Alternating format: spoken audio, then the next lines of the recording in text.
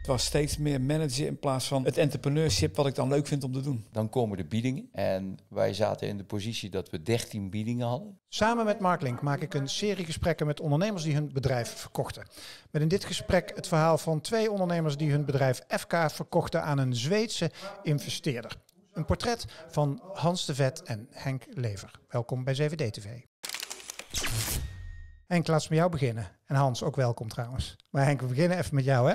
Jij bent al vrij snel gaan ondernemen, toch? Uit dus als, je, als we zeg maar, heel erg naar vroeger gaan. Je was de schoolbanken uit en toen ben je al vrij snel aan de gang gegaan, toch? Ja, inderdaad. Uh, Moest dat of vond je dat zo leuk? Nee, nee. Ik, uh, ik ben eigenlijk toch een beetje opgegroeid uh, met ondernemerszin. Ja. Mijn vader die, was een ambachtsman. Die was met hout bezig, zagen, schaven enzovoort.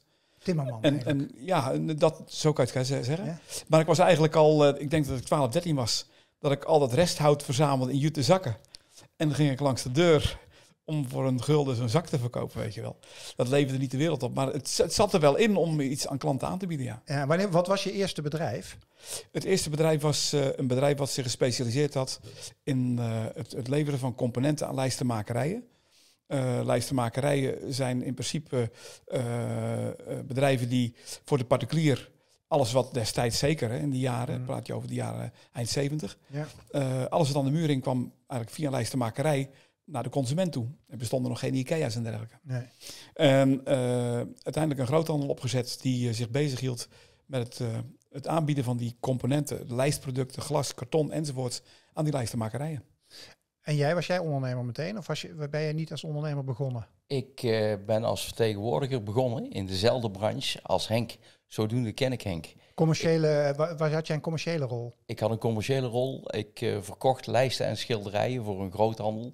Die lijsten en schilderijen verkocht. Eigenlijk de concurrent van Henk. Ja, ja precies. Dus jullie paden liepen jarenlang naast elkaar, eigenlijk. Ja, Zonder dat Kennen jullie elkaar? Ja, wij kennen elkaar. Ja, ja, ja, ja. Hey, en jij, heb jij, ik weet niet of dat echt een serieuze verkoop was, maar heb jij in 96, las ik, heb jij het bedrijf al verkocht? Ja, klopt. Ja. Uh, in die tijd moet je je voorstellen dat alles wat die consument aan de muur werkelijk alles, hè, van, van schilderijen tot lijsten, uh, pasfoto's die ingelijst moesten worden, maakt er niet uit wat. Uh, dat liep allemaal via die wereld. Er waren 1500 detailzaken in Nederland. Ja. En op een gegeven moment kwam er een, een grote Amerikaanse partij op de Europese markt. Marktleider in Amerika vrij grote omzet. Dan praat je over uh, eh, 500 miljoen in lijsten. Serieus. Ja. En wij waren inmiddels uh, toch ook gegroeid naar een van de voorlopers in de Nederlandse markt. En toen heb ik ervoor gekozen om, om het te verkopen aan dat bedrijf uit Amerika. Was 100% jouw bedrijf wat je verkocht? Ja, 100% mijn bedrijf. Was je toen al financieel onafhankelijk? Uh, door, door die verkoop wel, ja. Ja? ja oh, dus, en dat is 1996 96. Toen ben je niet gewoon naar Hawaii afgereisd of naar Zuid-Frankrijk? Nee, nee. Eigenlijk, als ik erop terugkijk, dan was ik toen toch wel wat jong. Ik was 42 toen ik het verkocht. Ja. Met, uh, met niet een duidelijk doel, wat ga ik daarna doen. Uh, waardoor je na, na, een half jaar, na de euforie van iets verkocht hebben, toch wel ja, de, behoefte hebt om, om gewoon weer wat toe te voegen. Mm. Dus ik ben gaan zoeken naar andere dingen. Maar wel weer in dezelfde wereld? In dezelfde wereld, uh, maar ook aanpalend in de meubelwereld. Het is natuurlijk een, een inrichtingsproduct, hè, een, ja. uh, een, een, een, wanddecoratie. Uh, en, en in de meubel hebben we toen de tijd ook het een en ander opgezet wat goed, goed geëindigd is. Ook, ook wat goed geëindigd is? Ja. Ook verkocht? Mijn, zoon, mijn oudste zoon heeft het voortgezet. Wat, wat, wat is het geheim van, van zo'n gast als hij op zo'n vroege leeftijd al bedrijven loopt te verkopen? Um, Henk die verstaat het om een bedrijf perfect te leiden. En als je iets perfect leidt, dan wordt het een goed bedrijf. Hm. En een goed bedrijf kun je altijd verkopen. Zo simpel is het. Zo simpel is het. Het moment dat jullie elkaar tegenkwamen, dat was. Uh, we hebben elkaar uh, eerder gesproken op een bijeenkomst. Dat was een, ja, ik kan het een bijzonder moment, moment, noemen, maar ook niet in alle opzichten een vrolijk moment. Kun je dat eens beschrijven, Hans, hoe dat eh, ging? Um, zeg maar als voorloper naar jullie gezamenlijke onderneming toe, hè?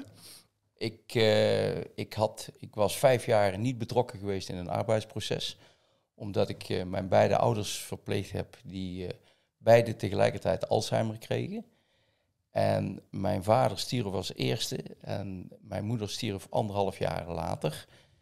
En ik was zo gefocust om dat te doen, dat ik de dag nadat ze stierf, toch weer met de spullen naar mijn moeder ging. Om te kijken of ik iets kon doen. En ik parkeerde mijn auto op de parkeerplaats. En ik realiseerde me dat mijn moeder eh, niet meer leefde. Hm. Toen ben ik doorgereden naar Motel Eindhoven. En daar heb ik een kopje koffie, eh, ging ik daar drinken. En daar kwam ik per toeval Henk tegen. Op precies op dat moment. Op dat moment. En wat, zei, en wat deed jij daar? Eh, ik had in Hamond, net over de grens, een bedrijfje overgenomen. Dus het was eigenlijk een, een, een lunch tussenstop die ik daar maakte. Ja, en ik zag Hans en we kenden elkaar natuurlijk. eh, Wist jij hiervan? Van zijn ouders? nee, nee, nee, Dat nee, niet? nee, wist Nee. ik niks van. Dus jij zei van, hey Hans, hoe is het? We hebben elkaar letterlijk eh 20 jaar, zeker niet. Ja, hebben elkaar Ja, zeker ja. twintig jaar niet gezien. Want in die 20 jaar, even zijstapje, heb jij, dat vond ik ook wel grappig, ik ga zo meteen terug naar dat moment hoor. Maar heb jij nou Frans Bauer parfum verkocht? Ja, onder andere. Eh, mijn, eh, mijn carrière ging via vertegenwoordiger in lijsten en schilderijen. Daarna maakte ik me zelfstandig. En toen eh, heb ik de import gedaan van eh dieselspijkerbroeken. De parallelhandel van dieselspijkerbroeken. Dat heb ik anderhalf, twee jaar lang gedaan. En toen kwam ik per toeval in de cosmetica terecht. Wij maakten parfums onder private label in kleine aantallen. Ja. En op een gegeven moment kwam eh, de mogelijkheid voor om de licentie van Frans Bauer te kopen. En dat heb ik gedaan. En daar heb ik een geurtje van op de markt gebracht. En dat was in de tijd een, geweldig succes. ja, was lekker. Het was een heel fijn geur. Ja, dat is Ja. een fijne vent volgens mij. Eh, Frans Bauer is een aardige vent. Ja, toch? Ja, Ja. absoluut. Terug naar Motel Eindhoven. Jij liep, als ik het zo mag zeggen, of je zat soort van met je ziel onder de arm misschien wel. Of tenminste, Ja. eh, dat kan me voorstellen. Wat, Zeker. als ondernemer trouwens, hè, want je zegt vijf jaar heeft dat zo'n beetje geduurd, dat proces. Hoe, want ik kan me voorstellen dat er veel ondernemers zitten te kijken voor, wow, als ik nu vijf jaar uit het proces zou moeten stappen, hoe heb je dat financieel gedaan? Ik eh, had het vorige bedrijf, mijn parfumbedrijf, verkocht aan mijn compagnon. Dus ik kon wel even wat eh, vooruit. Alleen in vijf jaar tijd eh, teer je enorm in. Ja, als je, als je Dus ik was eigenlijk wel heel blij dat ik Henk weer tegenkwam en dat we aan de gang konden gaan. Want vertel eens, hoe ging, dat, hoe ging dat? Want jij kwam langs en je zei, hey, dat is lang geleden, hoe is het? En toen? En- ja, Ja, ja vertel. Ja? ja, zal ik het Ja, vertellen? ja, ja, vertel jij het maar. Nou ja, op een gegeven moment eh, heb je het gewoon over eh, koetjes, kalfjes, het verleden enzovoort enzovoort. Mhm. En dan, dan kom je op een gegeven moment ook bij de, de stand van zaken van dat moment. Hè? Ja. Wat, wat doe jij, wat doe ik? Ja. En ik was in, in de lijsten nog steeds actief. Ja. Eh, het verhaal aan mond, zijn we nog bezig kijken samen, hoe dat daar ging. En eh, ja, Hans die, eh, die gaf aan, eh, ik heb tijd, Mhm. kunnen we nu wat samen? En hebben we allerlei dingen onderzocht, hè? Ja. we dat samen Ja. konden doen. Verschillende brandjes. En hoe werkt dat? En daar kwam een bedrijf uit voort. Hoe lang was dat proces van de, die tafel bij Motel Eindhoven totdat jullie met z'n tweeën aan de bak gingen? Is dat een kwestie van weken? Nee, nee, nee, dat heeft wel wat langer geduurd. Heeft wat langer geduurd. dat Ja? kwam ook omdat, het was in de periode van de bankencrisis. Aha, Het, eh, 2008 of zo. praat ik 2008, 2009, die periode. Ja. En ik, ik had best wel te maken met een behoorlijke omzetterugval eh, in, het, in het bedrijf. Mhm. En, eh, en, en zodoende vind je elkaar dan ook. Want Hans had tijd en ik had de capaciteit in het bedrijf over, omdat we het gewoon 30% minder draaiden. Ja, Het hakte er flink in. Was ook wat taaier. Het heeft wel tot 2013, 2014 geduurd. Hm. En toen zijn we een beetje gaan brainstormen van, eh, ja, hoe kunnen we nou die, die, eh, die, die productiecapaciteit invullen? Wat kunnen we daarbij bedenken? En wat bedachten jullie erbij?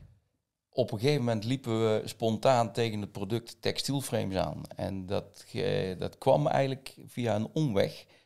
Eh, omdat eh, Henk had een klant bij Vadia, dat is een eh lijstengroothandel. Ja. En die vroegen, die kochten eerst altijd houten lijsten waar spullen in ingelijst werden. En die vroegen op een gegeven moment naar het fenomeen textielframes. En wisten wij veel wat een textielframe was. Dus we gingen op zoek naar een textielframe en dat vonden we. En toen hebben we in eerste instantie, omdat Henk uit het hout kwam, hebben we getracht dat textielframe in het hout te maken.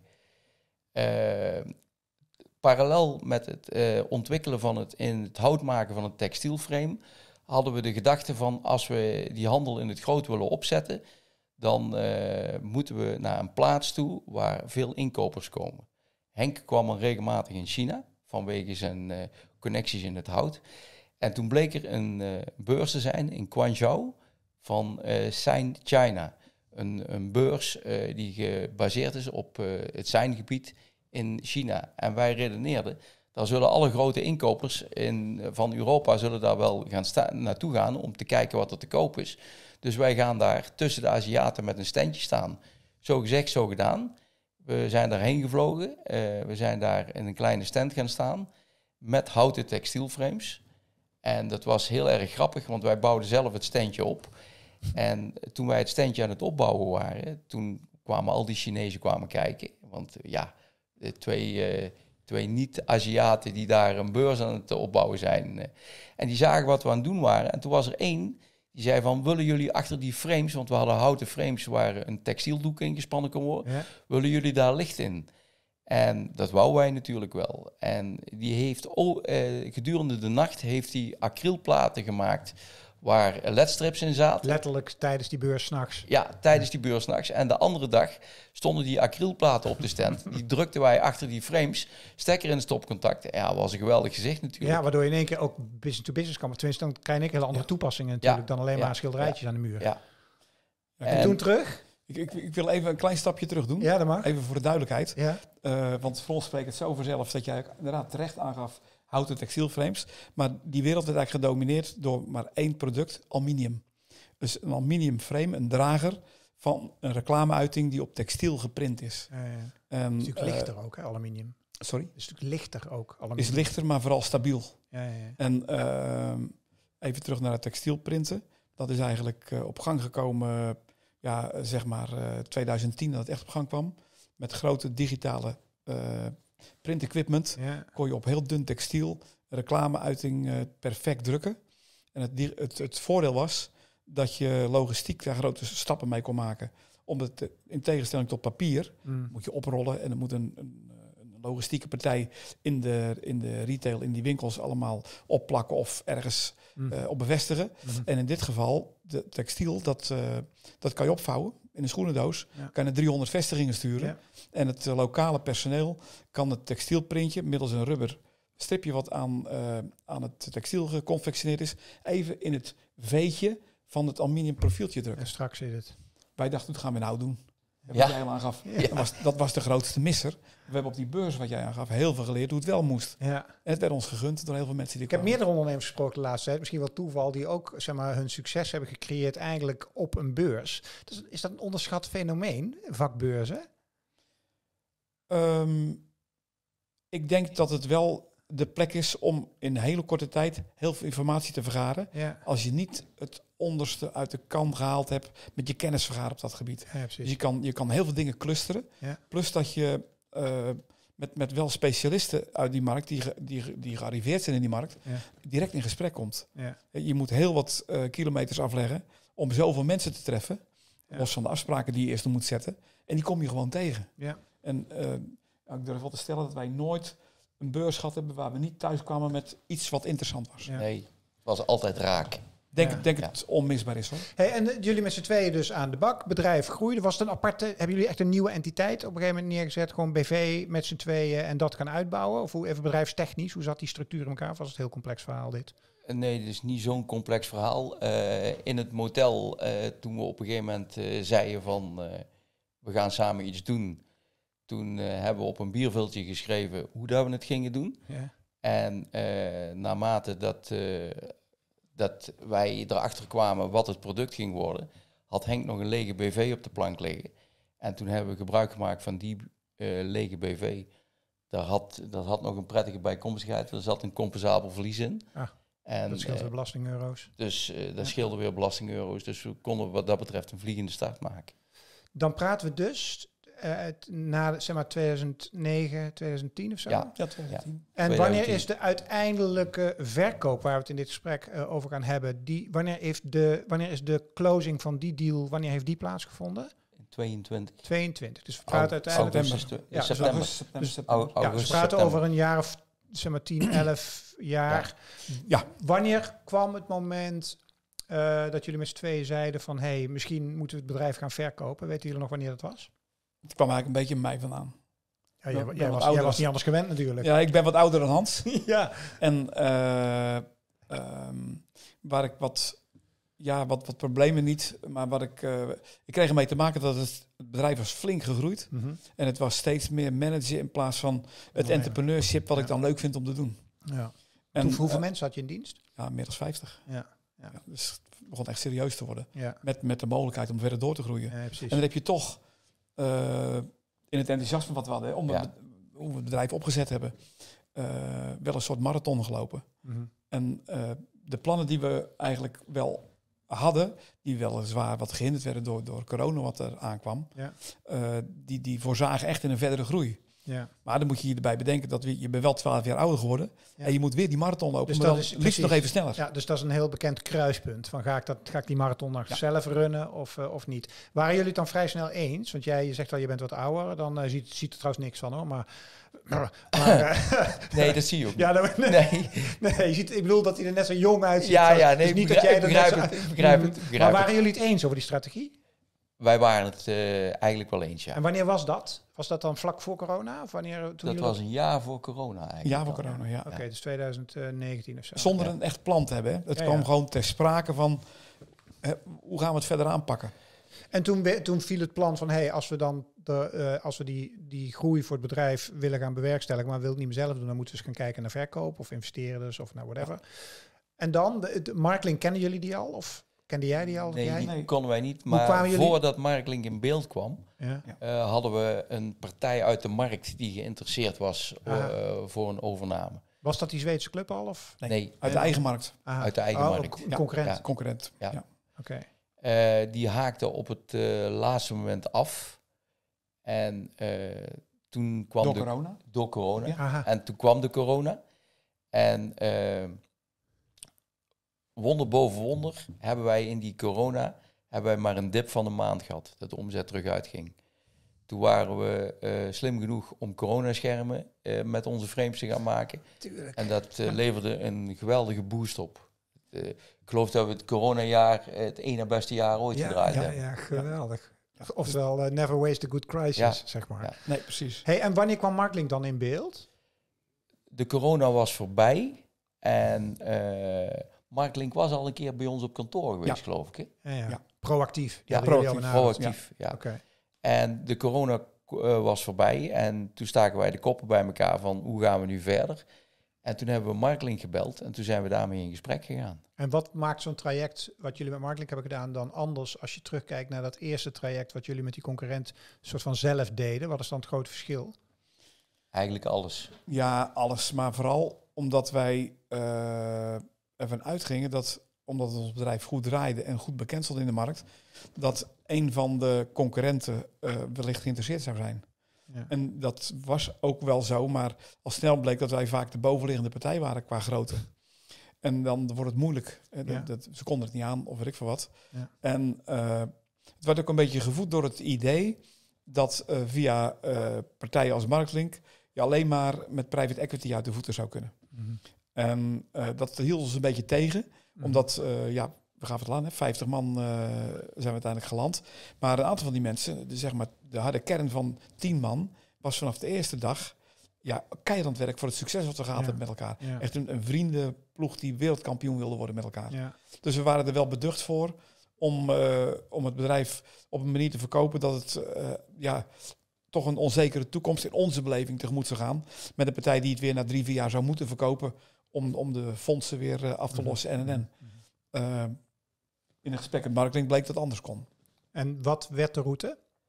Zeg maar, wat voor soort partij het is een Zweedse club uiteindelijk geworden? Ja. Wel een investeerdersclub, dus het is Ja, aanvankelijk, aanvankelijk hebben we Marketing toch aangegeven dat we eigenlijk bij voorkeur een partij zochten die het bedrijf eh, wilde overnemen om het te continueren zonder alleen maar te investeren en daarna het weer door te verkopen.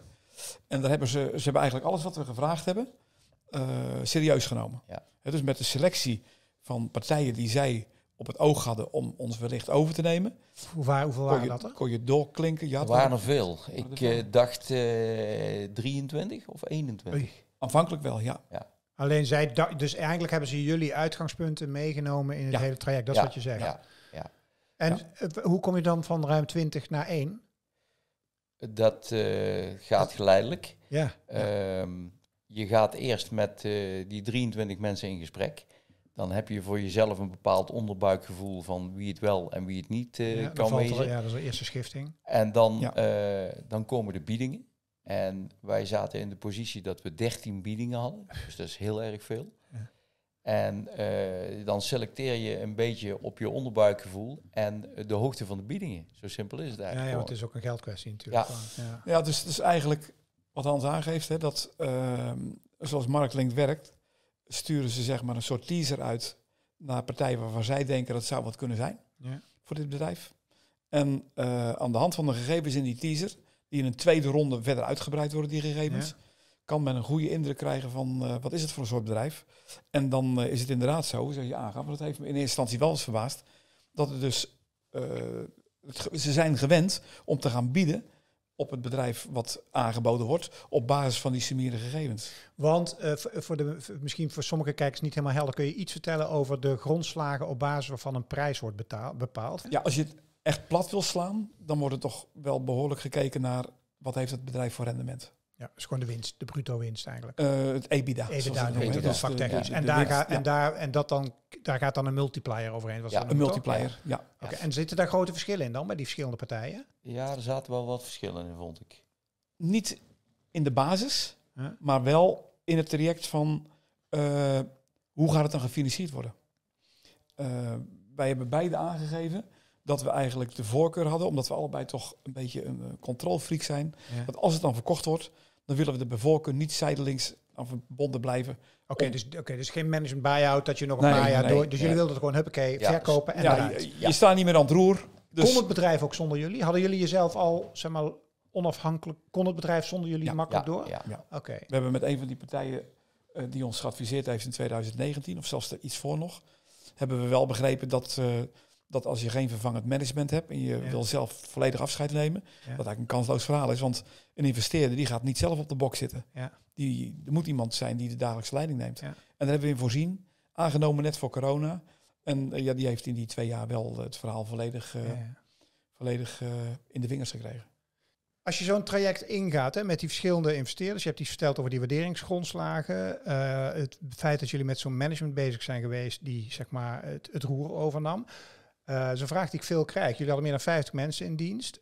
Eh, hoe neem je die mee in zo'n traject? Want ik kan me voorstellen dat je niet vanaf dag één, als je hiermee bezig bent, het plenair in de kantine rondroept van hé hey jongens, Nee. we gaan de verkoop Nee, in. nee, En eh, hoe doe je dat? Los van, eh, van, van de mensen in het bedrijf, hè, die, Ja. eh, die dan toch, want het traject loopt toch wel even. Je bent er een paar maanden mee bezig. Ja. En is bij ons nog snel gegaan. Ja. Eh, dat geeft onrust, hè, onzekerheid. Wat gaat er gebeuren? Ja. Maar eh, gezien onze leeftijd is ons wel meerdere keren gevraagd vanaf de vloer. Van, eh, wat gaat er nou gebeuren? Hebben jullie opvolging? Of ja, die mensen die denken ook aan hun toekomst binnen Ja. het bedrijf. Ja, ja, ja, ja. En eh, ja, dat, dat, dat is toch wel eh, lastig om dat te omzeilen. Heeft nog een reden mee. Dat stel dat je dat dan toch aan je mensen zou meegeven, dat je daarmee bezig bent, dan komt het ongemerkt ook in de markt terecht bij je klanten. En dat wil je gewoon niet. Je wil Nee. gewoon voorkomen dat, eh, dat zaken onrust gaan krijgen. Eh, hadden jullie niemand meegenomen in het traject? Of wel een soort van aantal vertrouwensmensen of zo? Drie, Dus- drie man? Eh, eh, twee man. ja. Iemand van financiën waarschijnlijk? Ja. Ja. Ja, Ja. precies. Want die moet En eh, de, de nieuwe CEO. ja. Ja, precies. Omdat hij onderdeel was van Ja, het hele ja, plan precies. natuurlijk. Ja, ja, ja. Je zegt een half jaar, dat is vrij snel hè? Vrij snel. Ja, hadden jullie de zaakjes op orde? Want het zijn natuurlijk eh, de, de, de, de, de beroemde due diligence die gaat plaatsvinden. Want Ja. zo'n bedrijf ligt jou natuurlijk op een gegeven moment echt helemaal door. Klopt. Hoe ging dat traject?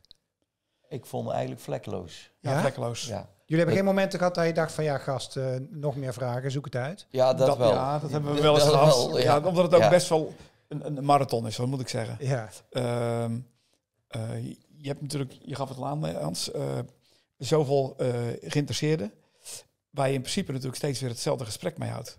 Alleen met andere partijen tegenover je. ja. En ehm, ja, op een gegeven moment is het lastig, maar dat vertel ik niks nieuws, dat als je een, een, een counterpart hebt tegenover je, waarvan je eigenlijk denkt, dit gaat niet worden, om dan zo'n gesprek van twee uur met elkaar te voeren. ja. Want vaak, het is eigenlijk een bedrijf verkopen of op een andere manier business doen, is toch ook het persoonlijke contact als Ja. vaak aan, aan de basis staat van wordt dit gesprek verder een succes of niet. De klik. De Klik. Maar waarom De zou je dan, als je die niet hebt, waarom zou je dan twee uur zo'n gesprek doen? Je kan toch ook zeggen na vijf minuten, hé, hey, zeg, die klik die is er niet aan. nou ja, dat, Ja. Is toch, dat is toch wel Marktlink die respect voor hun relatie heeft. Ja, ja, ja, ja. Hè? Die willen wel graag. Vaak kwamen mensen ook. eh, Van ver. Van wij zaten in Ja. Drachten. Maar we hebben mensen uit Maastricht aan tafel gehad. Die Ja. speciaal voor ons even naar Drachten Ja. kwamen. Ja. Om bedrijf te leren kennen. Waarom uiteindelijk deze club? Wat was de doorslag? Eigenlijk, toen ze binnenkwamen en ze ons een hand gaven, toen had ik eigenlijk al meteen het gevoel, dit gaat hem worden. Ja? Ja, Ja. heel apart. Ik had het gevoel Ja. ook. Ja. Ja. Gewoon een heel goed, heel goed gevoel erbij. Ja. Maar als je puur over een aantal technische zaken spreekt, dan passen die inderdaad perfect in het profiel wat wij Marktlink meegegeven hadden. Niet eh, erbij hoeven te blijven om zelf nog management eh, te voeren, Ja. de dagelijkse operations. Eh, geen enkele financiële verbondenheid. Ook niet op basis van een winstprojectie of iets dergelijks. Dus je kon een soort clean afscheid nemen. Mhm. En eh, dat was ook, als je een deel van de latere selectie van de, van de laatste partijen die aan tafel gezeten hebben, dan was het vaak wel een bieding die interessant was. Maar dan moest je voor de komende vijf jaar voor 60% financieel erin blijven zitten. Terwijl je niet kan eh, beslissen wat er gebeurt in je bedrijf. Hm. Wat er met jouw geld gebeurt. Ja. Wat gebeurt er dan als zo'n bedrijf toch op een of andere manier door mismanagement, we zijn er niet meer bij, kantelt? Hoe ga je dan nog 50% van de beoogde, eh, de beoogde verkoopprijs ga je binnenhalen? Ja. En dat is best wel eh, een belangrijk eh, Ja. aspect. Ja. We hebben de naam van jullie bedrijf nog niet eens genoemd. Ons bedrijf heette FK. En wat gebeurt er met jullie kindje FK onder de hoede van eh, de vrienden van Livco? Want dan hebben we de twee namen ook even genoemd. Wat gaan zij, blijft dat merk bestaan? Het Eh, merk blijft zeker ja. bestaan, Ja. want het is een heel krachtig merk in Europa. En eh, ze bouwen het op het moment uit. En eh, Ja. het eerste half jaar lukt dat vrij aardig. En meer verder weet je het nog niet. Ehm, Of wel? Jawel, want wij, wij hebben beide plaatsgenomen in de boord, zoals het zo, zo mooi Ah, heet. Dus, Ja. Dus we zien nog alle cijfertjes en we worden regelmatig door Livco om advies gevraagd. Wat erg leuk is trouwens. Dat is het dan ook? Of, of gaat dat dan weer verder dan? Is dat echt dat puur een soort boordtaak met Ja. een stukje Ja. advies, een paar Ja, keer per nee, jaar? het, is, het is totaal, het heeft niks met operations te maken. Nee, niks. Maar eh, ik vind het van, van Livco op zich genomen wel eh, slim. Eh, Livco eh, is een organisatie waar eh, ruim 200 bedrijven onder hangen. Met een relatief smal management. Ja. Ze kopen alleen maar bedrijven met eh, ja, goede resultaten. In een bepaalde branche? Of? nee, Nee, heel divers. heel divers. Van, van de tandartse wereld tot, eh, tot wat wij deden. Ehm, ze hebben daar een reden voor. Ze hebben zelf small management. En ze willen alleen bedrijven kopen waarvan ze min of meer eh, vanuit kunnen gaan dat die heel goed hun eigen broek kunnen ophouden. Mhm. En wat vragen ze dan de, de, de vorige eigenaar, eigenaren?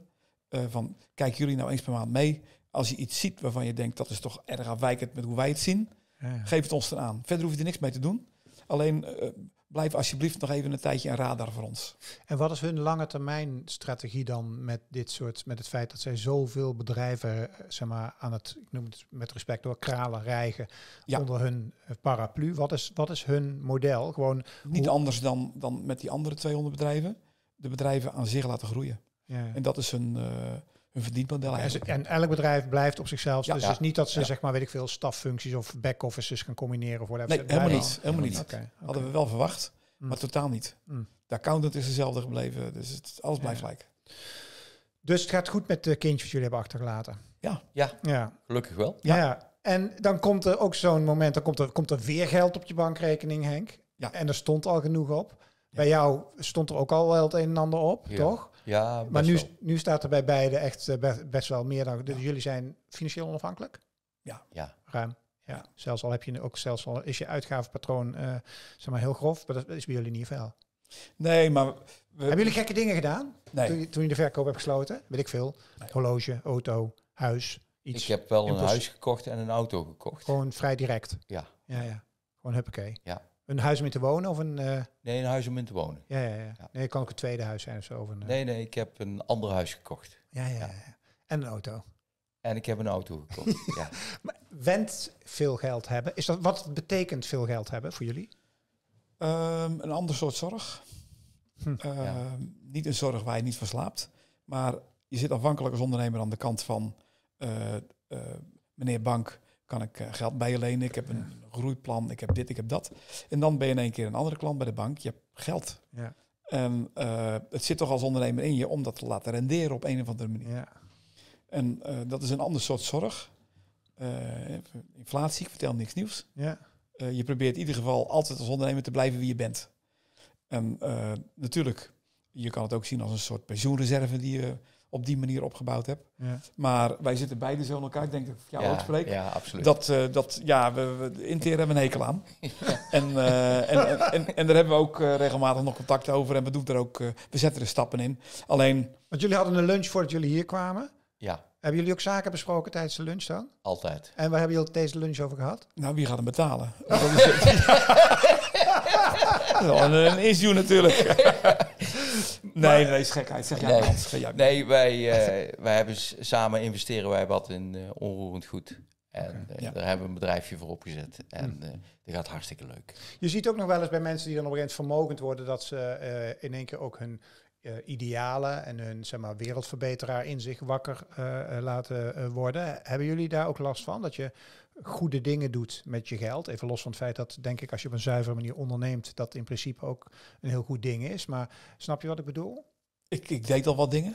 Hè, ehm, omdat je ja, de wereld om je heen, dan zie je dingen gebeuren dat je denkt, ja, Hm. eh, dat is wel heel sneu. Kan ik er niet iets in bijdragen? Mhm. maar met name de Rabobank heeft daar een speciaal fonds voor opgebracht, opgezet. Mhm. En daar ga ik in participeren. Oké, Ga ik in meedoen, ja. oké.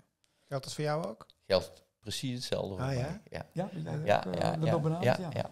Ja. Ja. Even nog ter afsluiting, Mark Link, hè, zonder dat we nou een promotiefilmpje eh, moeten maken hoor. Maar eh, als jullie, stel je zou dit traject, laat ik het anders zeggen, had je dit, niet helemaal een open vraag, maar had je dit traject ook zelf kunnen doen?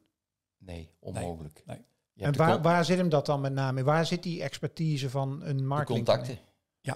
We zouden bij God niet weten wie we Nee. zouden moeten aanspreken eh, van de financiële wereld. eh, Dit, kan je niet, dit kan je niet googlen. Nee, Nee, nee. Nee, je moet in die wereld helemaal thuis zijn. Ja. Je kan het een beetje vergelijken met waarom gaat een goede voetballer nou niet gewoon rechtstreeks naar Barcelona en zeggen hier ben ik en eh bied me geld. Waarom gaat het nou via Er zit, ook, makelaar? er zit ook een makelaar tussen. Ja, precies. Die snapt dat spel. Heel duidelijk. Ja.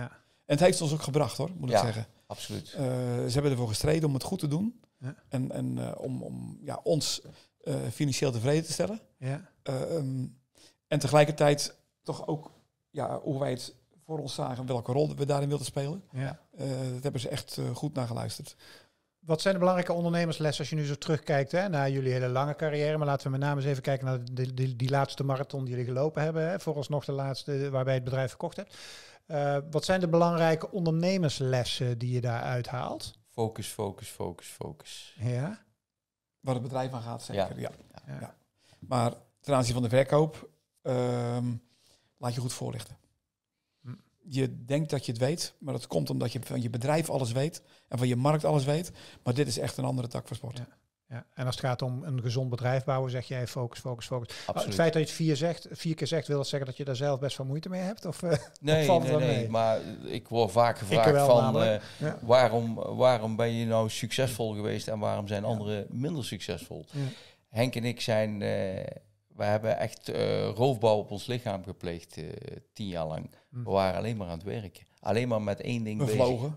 bezig. Ja. Bevlogen. En we waren met het bedrijf bezig, dag en nacht. Ja. Ook in het weekend. Ja. Stond nooit Ja. stil. En ei- eigenlijk niet zozeer fysiek, hè? maar we zagen het ook niet als werk. En dat is wel Nee, een, nee. valkuil natuurlijk. Ja. Maar we Je hebben sta- je staat- ontzettend veel schik gehad. Ja, Ja. ja, Maar hartstikke leuk om te doen. gelachen. ja, maar het staat altijd aan. Altijd. Ja. Ja. Ja. Zijn jullie vrienden? Ja, wel geworden Ja, daardoor. wel Ja? geworden. Ja, absoluut. Ja, ja. Ja. Ja. Het, is, eh, het is een mooie, mooie rit geweest. Ja. Waar voor mezelf dan eh, de, reis er naartoe eigenlijk mooi was dan, eh, dan de aankomst. Ja. En dan is het een beetje, eh, toen de, de aankomst bedoel ik mee, toen het bedrijf volwassen werd. Ja. Eh, met name wat ik al aangaf, dat ontdekken van markten, het leren kennen van belangrijke spelers, Ja. eh, internationale contacten opdoen. Ja. Ja, dat, is, dat is een soort verslavend. Hartstikke Ja. leuk om te doen. Ik hoop dat jullie nog heel veel mensen om jullie heen gaan inspireren de komende jaren. Maar dat zal vast eh, lukken. In ieder geval met dit gesprek wat mij betreft. Dus eh, mag ik jullie danken dat jullie mijn gast waren. Dankjewel Heel voor de graag uitnodiging. En eh, namens Mark Link, dankjewel voor het kijken naar weer een prachtig ondernemersgesprek in de serie die ik met ze maak. Waarin we gaan onderzoeken wat er nou allemaal komt kijken als je je bedrijf gaat verkopen. Heb je geluisterd eh, naar de podcast? Ook eh dankjewel voor het luisteren. En eh, abonneer je op het podcastkanaal of op het YouTube kanaal. Op het YouTube kanaal kun je dat hieronder doen. En als je op YouTube zit, blijf hangen. Over twee seconden twee nieuwe gesprekken. Heb je geluisterd naar de podcast? Heel graag. Tot een volgende keer. Hoi.